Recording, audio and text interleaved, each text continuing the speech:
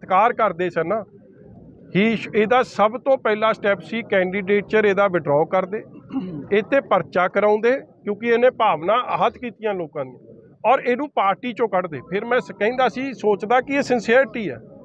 Lip service ਨਾਲ ਕੀ ਉਹ ਮਸਲਾ ਹੱਲ ਹੋ ਜਾਣਾ? ਨੋ ਸਰ, ਇੱਕ ਪੈਰਾਸ਼ੂਟ ਲੀਡਰ ਨੇ ਬੀਜੇਪੀ ਦੇ ਔਰ ਮੋਨੀ ਵੱਲੋਂ ਸਿੱਖਾਂ ਤੇ ਟਿੱਪਣੀ ਕਰਨਾ, ਤੁਸੀਂ ਛੋਟਾ ਬੱਚਾ ਕੇ ਸਿੱਖ ਧਰਮ ਸਿੱਖ ਨੂੰ ਧਰਮ ਦਾ ਸਾਈ ਧਰਮ ਦੇ ਸਾਹਮਣੇ।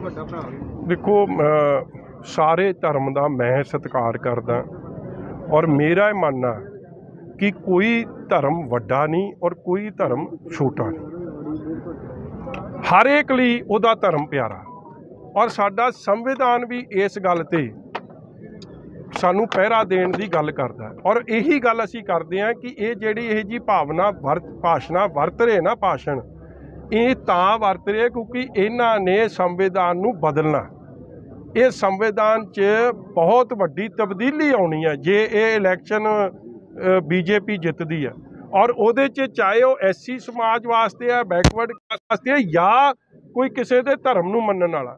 It is a sad thing ਮੈਂ ਇਹਦੀ ਇਹ ਇਹ ਜੀ ਸ਼ਬਦਾਂ ਦੀ ਨਿਖੇਧੀ ਕਰਦਾ ਔਰ ਮੈਂ ਇਹ ਮੰਨਦਾ ਕਿ ਸਰਬ ਸਭ ਧਰਮ ਸਤਿਕਾਰਯੋਗ ਹੈ ਔਰ ਸਭ ਧਰਮਾਂ ਦਾ ਸਤਿਕਾਰ ਪਿਆਰ ਹੋਣਾ ਚਾਹੀਦਾ ਮਗਰ ਇੱਕ ਧਰਮ ਨੂੰ ਦੂਜੇ ਧਰਮ ਨਾਲ ਕੰਪੈਰੀਜ਼ਨ ਕਰਨਾ ਇਹ ਗੁਰੂ ਸਾਹਿਬਾਨਾਂ ਨੇ ਵੀ ਨਹੀਂ ਕੀਤਾ। ਸਾਡੇ ਸੱਚੇ ਪਾਤਸ਼ਾਹ ਨੇ ਸਾਨੂੰ ਕੀ ਸਮਤ ਬਖਸ਼ੀ ਆ? ਸਰਬੱਤ ਦੇ ਭਲੇ ਦੀ। ਮਾਨਸ ਕੀ ਦਾ ਜ਼ਿਕਰ ਕਰ ਰਹੇ ਹੋ? ਕਡੂਰ ਸਾਹਿਬ ਦੀ ਫਾਈਟ ਨੂੰ ਕਿੱਦਾਂ ਦੇਖਦੇ ਹੋ? ਅੰਮ੍ਰਿਤਪਾਲ ਸਿੰਘ ਤੇ ਇਲੈਕਸ਼ਨ ਲੜਨ ਨਾਲ ਲੱਗਦਾ ਕੋਈ ਨਤੀਜੇ ਤੇ ਅਸਰ ਪਊਗਾ? ਯਾਰ ਚਲੋ, ਮੈਂ- ਮੈਂ ਨਾ ਅੱਜ ਨਹੀਂ ਟਿੱਪਣੀ ਕਰੂੰਗਾ। ਮੈਂ ਪਹਿਲਾਂ ਵੀ ਬੜੀਆਂ ਗੱਲਾਂ ਕੀਤੀਆਂ ਨੇ। ਮੈਂ ਅੱਜ ਵੀ ਕਿਸੇ ਥੋੜੇ ਸਮੇਂ ਬਾਅਦ ਤੁਹਾਨੂੰ ਇਹ ਗੱਲਾਂ ਸਪਸ਼ਟ ਹੋਣੀਆਂ ਕਿ ਇਹ ਸ਼ਾਰਤਾਂ ਕਿਹੜੀਆਂ ਹੋਣਗੀਆਂ ਬਹੁਤ ਵੱਡਾ ਇੱਥੇ ਬੜੀਆਂ ਸ਼ਾਰਤਾਂ ਚੱਲ ਰਹੀਆਂ ਪੰਜਾਬ 'ਚ, ਕਿ ਪੰਜਾਬ ਨੂੰ ਕਮਜ਼ੋਰ ਕੀਤਾ ਜਾਵੇ, ਇੱਥੇ ਵੰਡੀਆਂ ਪਾਈ ਜਾਣ। ਮਗਰ ਮੇਰਾ ਇਹ ਮੰਨਣਾ ਕਿ ਲੋਕ ਸਿਆਣੇ ਨੇ।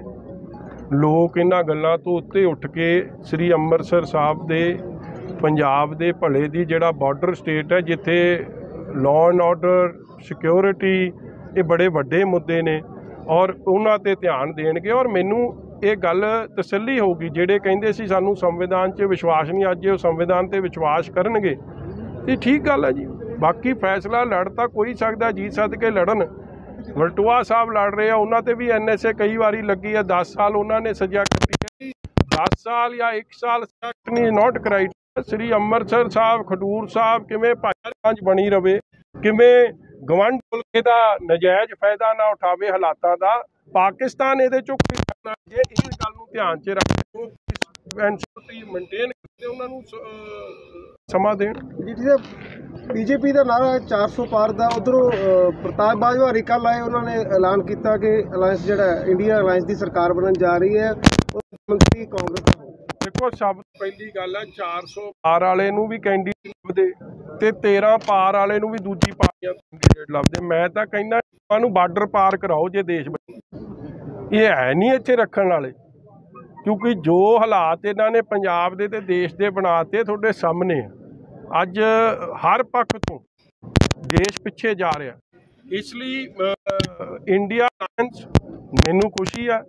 ਭਗਵੰਤ ਮਾਨ ਦੀ ਕਮਾਲ ਦੀ ਗੱਲ ਹੈ ਲੋਕਾਂ ਨੂੰ ਮੂੰਹ ਤਰੀਕਾ ਵੇਖ ਲਓ ਕਿ ਸਾਰੇ ਦੇਸ਼ ਹਰਿਆਣੇ 'ਚ ਵੋਟ ਮੰਗਣਗੇ ਕਾਂਗਰਸ ਲਈ, ਦਿੱਲੀ 'ਚ ਵੋਟ ਮੰਗਣਗੇ ਕਾਂਗਰਸ ਲਈ, ਗੁਜਰਾਤ ਲਈ ਵੋਟ ਮੰਗਣਗੇ ਕਾਂਗਰਸ ਲਈ, ਰਾਜਸਥਾਨ, ਅਸਾਮ ਵੋਟ ਮੰਗਣਗੇ ਕਾਂਗਰਸ ਲਈ, ਮਗਰ ਪੰਜਾਬ 'ਚ ਆ ਕੇ ਕਾਂਗਰਸ ਦਾ ਵਿਰੋਧ ਕਰਨਗੇ ਤੁਸੀਂ ਮੰਨਦੇ ਹੋ? ਗੱਲ ਕੀ ਹੋ ਸਕਦੀ? ਜਿਹੜਾ ਦੇਸ਼ 'ਚ ਕਾਂਗਰਸ ਦੀ ਸਹਿਮਤੀ ਕਾਂਗਰਸ ਭਲਾਈ ਮੰਗ ਕਰ ਰਿਹਾ ਉਹ ਆਪ 'ਚ ਨਹੀਂ ਕਰ ਰਿਹਾ ਇਸ ਲਈ ਲੋਕ ਇਹ ਤੋਂ ਹੁਣ ਵੋਟ ਪਾਓ ਵੇ ਝਾੜੂ ਨੂੰ। ਨਿਕਲੂ ਪੰਜੇ ਨੂੰ ਵੋਟ ਪਾਓ ਪੰਜੇ ਨੂੰ ਨਿਕਲੂ ਝਾੜੂ ਨੂੰ ਇਹ ਫਿਕਸਡ ਮੈਚ ਜਿਹੜਾ ਉਹ ਤੋਂ ਸੁਚੇਤ ਹੋ ਜਾਊਗਾ। ਸਾਹਿਬ ਦੀ